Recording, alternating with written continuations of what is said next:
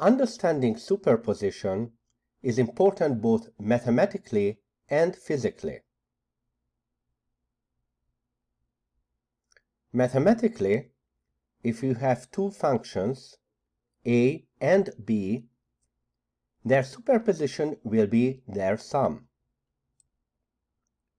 In the following examples, each function will be dependent on time.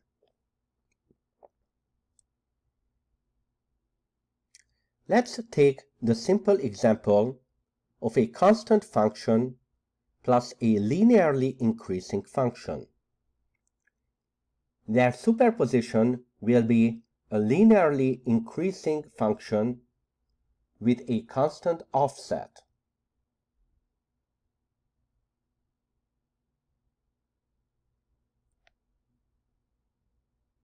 Superposing a linearly increasing function with a quadratic, parabolic, function will produce a parabolic function with a different apex.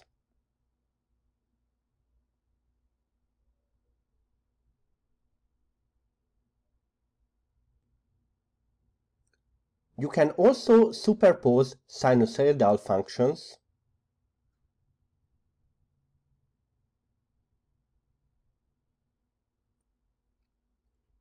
or a combination of any functions to produce a desired shape.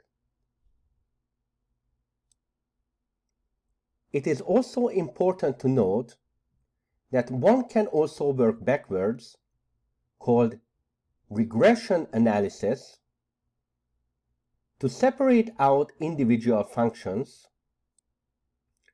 and hence deduce relevant input. In this example, looking at the final product, one can analyze it to deduce that a sinusoidal component, a parabolic component, a constant offset, and even a linear component may be involved.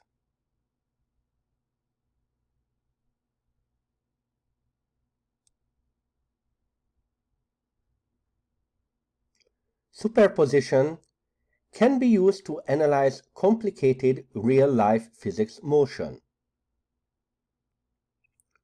For example, describing the motion of the end of the handle of a thrown hammer, we can simplify it as the superposition of a circular rotation of the handle around its center of mass as well as projectile motion off that center of mass.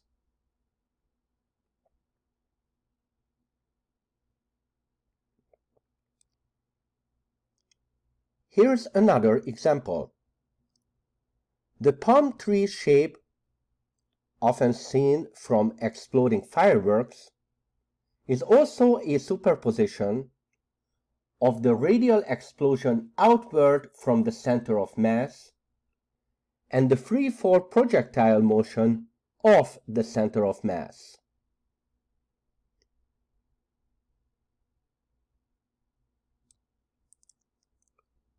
Waves are also subject to superposition, which has real-life uses in FM and AM radio.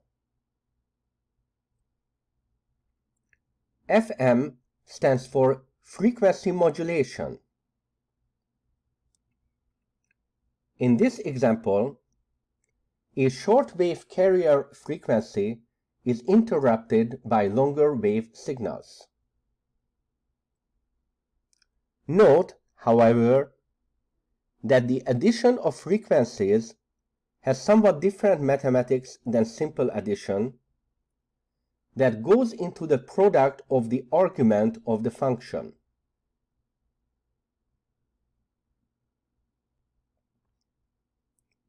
Amplitude modulation is much easier to understand as it is in fact just the original superposition mathematics.